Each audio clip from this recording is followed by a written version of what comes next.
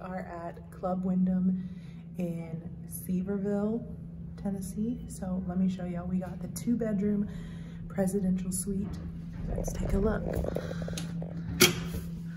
This place, one second, we walked in and we were blown away with how massive this place is.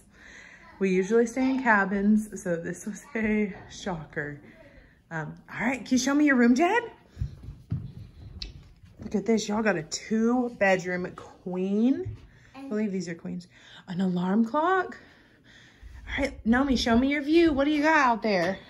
Um, A golf course. And look at that lake.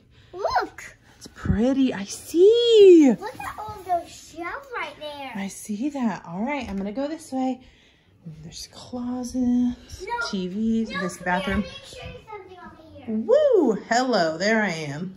Boop. Show, Right. I need to show you something over here. In a second, let me show them your bathroom. Big, big, big, big shower. Oh, there we go. Let's go this way. Living space with a big TV and I'm guessing gas, electric fireplace. Hmm, I'll have to look at that. It's not warm right now. All right. Beautiful, large, open concept kitchen. Big six people table. Big, nice fridge. Everything's updated, which is really cool. Let's go over here, then we'll go outside. Hey! Hello. King size bed. This is our bedroom. I've yet to unpack yet, but seriously, the view is beautiful out these. All right, and then this is our bathroom. Look at this tub. Oh my gosh. It's huge. Like, all right, oh. This stuff, shower, bath, closets. Okay, let's go outside. Check-in was super easy. It was curbside check-in, so we just, literally a lady came out and, uh, oh, hello. How do you unlock the back door? Oh, it's locked. Duh, because we have kids. Okay, big, this is a big balcony. Ooh, there's like a fire pit area down there. Fun. It's chilly, not too bad. It's probably 45 degrees, 50 degrees. Can I? Yeah, come on, bubs. People golfing over there. We're not golfers, but isn't this cool? Sit right here, Mommy. Are y'all so excited? There's a water indoor water park on property that we are so excited to go try. Okay. All right, guys. Say see you later. Thanks for watching. See you later. Thanks for watching, though. say bye. Naomi, say bye. Bye. Whose name is her?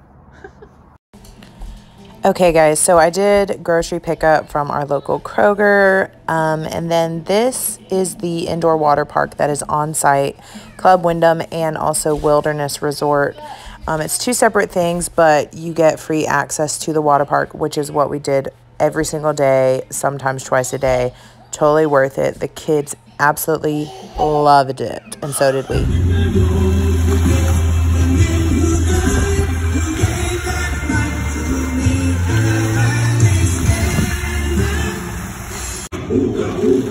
On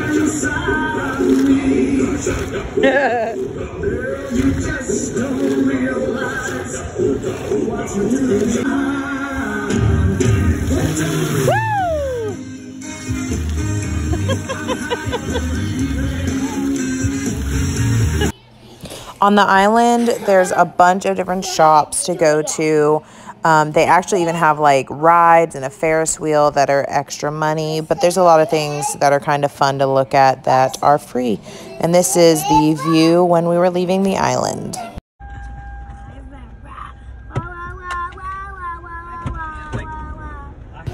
Okay, we went to Three Bears General Store, and honestly, I think it's the only store you need to go to in Pigeon Forge. It was awesome. Say hello. Hello.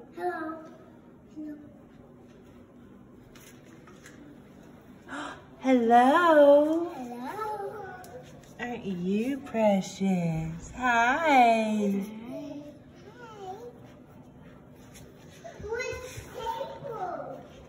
Table. What's it say? Paco? Paco? Paco?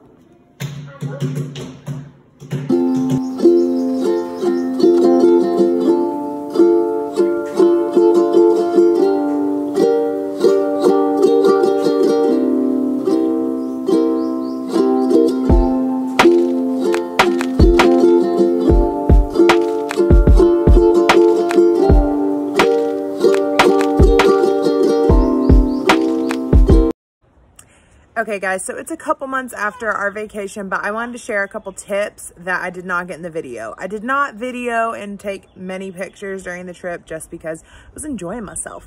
So I wanted to say, like, we did this trip for under a thousand dollars. Um, it was four nights, five day trip, and it was amazing. Um, that place we stayed in, we got such an amazing deal, and I totally recommend trying to find someone who has a timeshare that you can rent from.